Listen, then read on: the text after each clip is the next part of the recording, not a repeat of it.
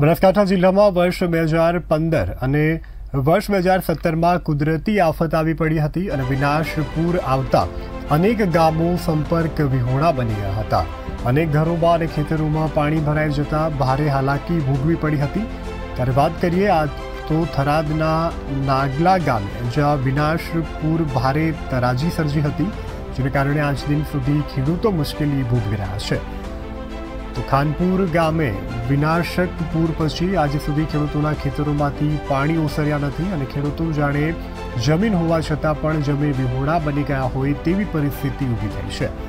નાગલા ખાનપુરના ખેડૂતોએ તાલુકા કક્ષાએથી રાજ્યના મુખ્યમંત્રી સુધી પાણી નિકાલની વ્યવસ્થા બાબતે અનેક વખત રજૂઆતો કરી, પણ આ ખેડૂતોનું કોઈ ધ્યાન ન લેતા હોય તેવી પરિસ્થિતિઓ ઊભી થઈ છે. બે હજાર પંદરથી કરીને અમારી બે હજાર પંદર ને સત્તરમાં વધારે પડે એમાંથી કરીને મારી બધી જમીનો ખારમાં જતી રહી છે. અને જવાનું કારણ એક જ છે કે જ્યાં નર્મદા કેનાલનું કામ બરાબર થયેલ નથી. ત્યાંથી શોષણ થાય છે. અને અમારી વારંવાર રજૂઆતો હોવા છતાં અહીંના કર્મચારીઓ અને આગેવાનો બધા મિલીભગત ચલાવે છે. કોઈ મારું અરજી કે કાર્ય થતું નથી. એટલા માટે અમે ઘણી રજૂઆતો કરી. અને હાલ અમારી બહુ ગંભીર પરિસ્થિતિ છે. કોઈ વાતને ઘાસચારો પણ પશુને પૂરતો મળતો નથી અને મજૂરી કરવાનો મારો સમય આવ્યો છે અમે કરીને હજુ સુધી કહી તો સરકાર વિચારો અમે એના માટે પ્રેરણા આપી રહ્યા છે. અમારે કેનાલ, વીક હોવાથી આ જમીન મારા પોતાની છે ખુદ.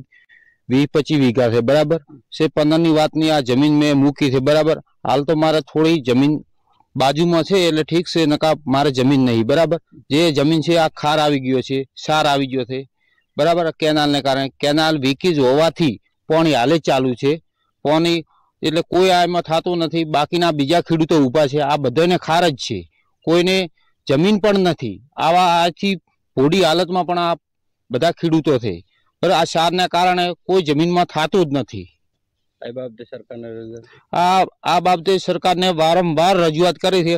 પણ સરકારે કોઈ હજી પગલું લીધું. નથી. બે હજાર પંદરથી કરીને બે હજાર બાવીસ સુધી નાગલા ગામની જે જે સમસ્યા છે ને આ બહુ વિકટ સમસ્યા છે.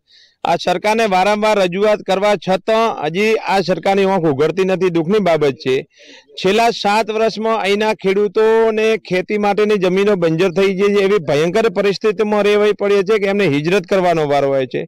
કાં તો સરકાર જે અમારે પાણી નિકાલની જે સમસ્યા છે વોટર ડેમેજ કેનાલની ક્વોલિટી હલકી થવાથી, એન્જિનિયરોની મિલીભગતથી હલકું કામ થવાથી, આ જે તમે જોઈ રહ્યા છો, કેનાલ છે ને હરમણી થઈને ખેતરો બંજર થઈ જાય છે.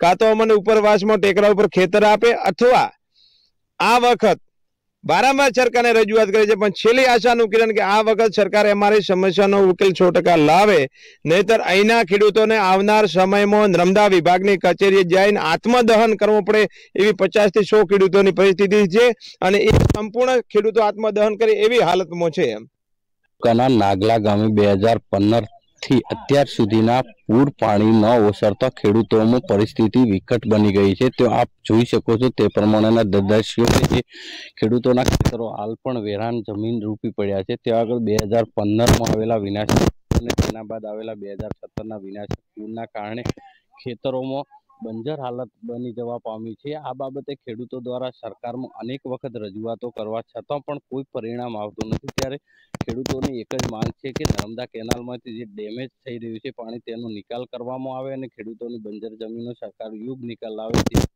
પામી છે. Vasram Chaudhary, bulletin India.